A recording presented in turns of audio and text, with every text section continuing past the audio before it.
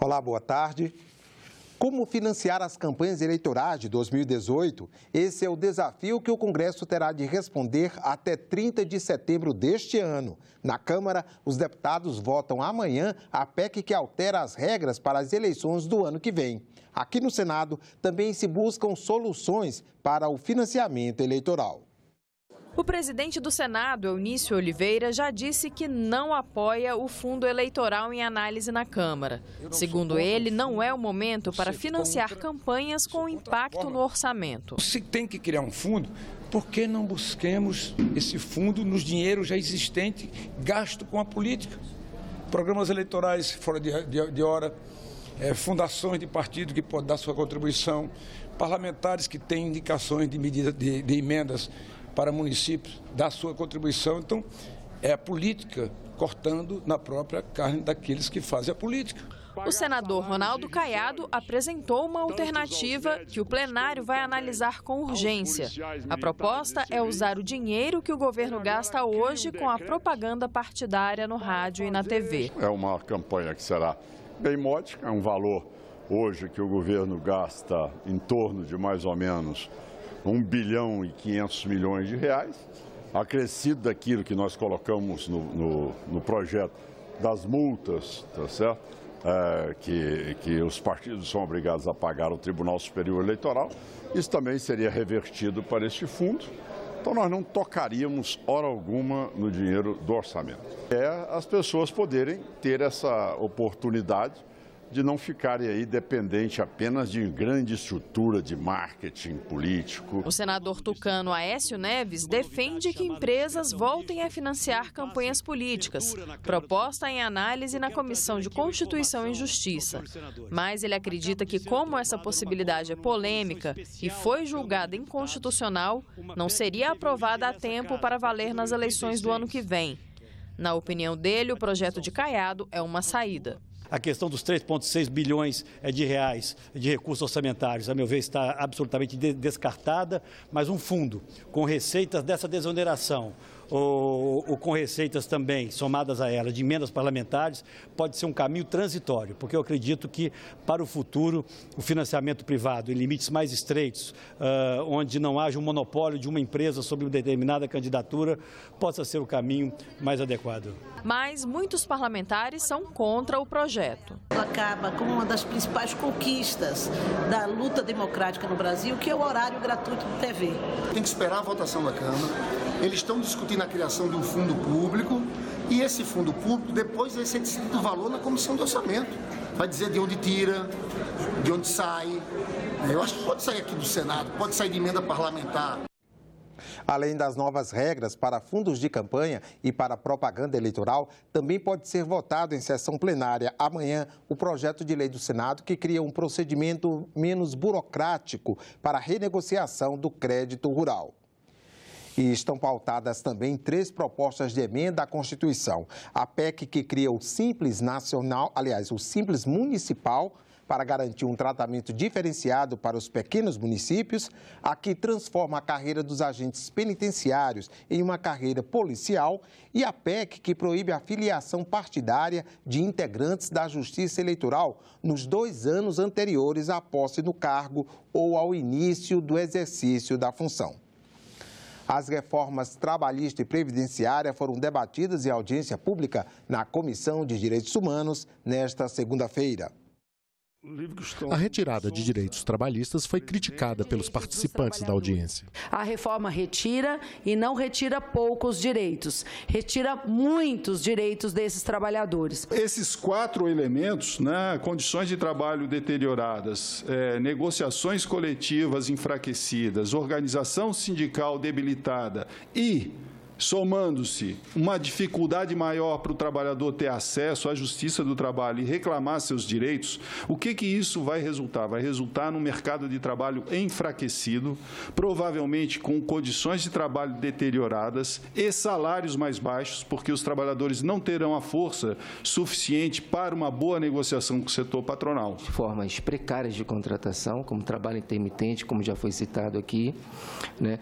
e a contratação de trabalhadores como autônomos né, e microempresários. A falta de um debate aprofundado durante a discussão da reforma trabalhista no Congresso também foi alvo de críticas. Essa aberração que foi essa lei passada assim, né, muito rapidamente sem o devido debate, principalmente na Câmara dos Deputados. Depois já foi salientada aqui a posição lamentável que o Senado adotou de não de não rever aqueles pontos que até ficou muito evidente para os senadores que necessitavam a correção. Diálogo social foi tudo o que não aconteceu durante a tramitação que levou à aprovação da Lei 13.467. Os participantes do debate na Comissão de Direitos Humanos anteciparam alguns dos problemas que vêm na proposta de reforma da Previdência. Um casal de idosos aposentados, cada um com dois salários mínimos. O outro falece e o outro não vai ter direito à pensão por morte ele, ele, se ele vivia com quatro salários mínimos, a renda familiar, vai passar a viver com dois. Essas regras propostas de tempo mínimo de contribuição e idade irão afastar da aposentadoria 40% das pessoas que hoje estão seguradas pelo sistema, pelo regime geral da Previdência Social. A reforma trabalhista foi para atender o grande empresariado. Isso eles fizeram já. Agora eles querem fazer a reforma da Previdência para atender os banqueiros é, porque vai na linha de tudo que é se analisar ali, que é a privatização da Previdência. O valor das multas aplicadas a pessoas físicas e jurídicas que cometerem ilegalidades no sistema financeiro pode aumentar. A comissão mista que analisa a medida provisória dos acordos de leniência deve apreciar amanhã o relatório da senadora Lídice da Mata. A MP 784 amplia a atuação do Banco Central e da Comissão de Valores Mobiliários na punição de fraudes. Pelo texto da medida provisória, o valor máximo da multa a ser cobrada pelo Bacen passa de 250 mil para 2 bilhões de reais. O Banco Central é responsável pela fiscalização e regulação do sistema financeiro nacional. Já o teto das multas aplicadas pela CVM, que atua no mercado de capitais, sobe de 500 mil para 500 milhões de reais. Isso mostra uma gradação maior para o Banco Central, uma flexibilidade maior para que o Banco Central possa exercer exatamente a sua atuação sancionadora e punitiva. Isso dá mais celeridade, mais condições e agilidade para que o Banco Central possa efetivamente punir quando houver necessidade de punir os infratores no âmbito do sistema financeiro nacional. A medida provisória também autoriza os dois órgãos a firmar acordos de leniência com infratores. A confissão de culpa e a colaboração nas investigações seriam compensados com benefícios, que vão da redução de um a dois terços da pena até a extinção da punição. A comissão mista que analisa a MP fez três audiências públicas e já recebeu 97 emendas à matéria. No nosso ponto de vista, ela tem problemas, ela merece apuração, ela merece modificação, ela merece atenção especial. Nós temos um grande número de emendas que vêm no sentido justamente de propor a presença do Ministério Público, portanto, é, de alguma maneira concordando com a ideia de que se trata de uma investigação que, em última instância, é, poderá ser caracterizada como uma investigação criminal. Nós estamos falando de ilícitos administrativos. Se esses ilícitos são administrativos, no âmbito do sistema financeiro nacional, a competência é do Banco Central. Se porventura, para além de ilícitos administrativos, o Banco Central se deparar com indícios de crime, o Banco Central cumpre o que prevê a Lei Complementar 105 e comunica esses indícios ao Ministério Público. A medida prevê que o Banco Central só poderá fechar esses acordos quando não houver provas suficientes que garantam a condenação das instituições ou das pessoas físicas. Além disso, no caso de descumprimento, o beneficiário não vai mais poder assinar novos acordos de leniência no prazo de três anos. A Política Nacional de Saúde Bucal pode ser incluída no Sistema Único de Saúde por lei. O Senado já aprovou. A decisão final agora cabe à Câmara dos Deputados.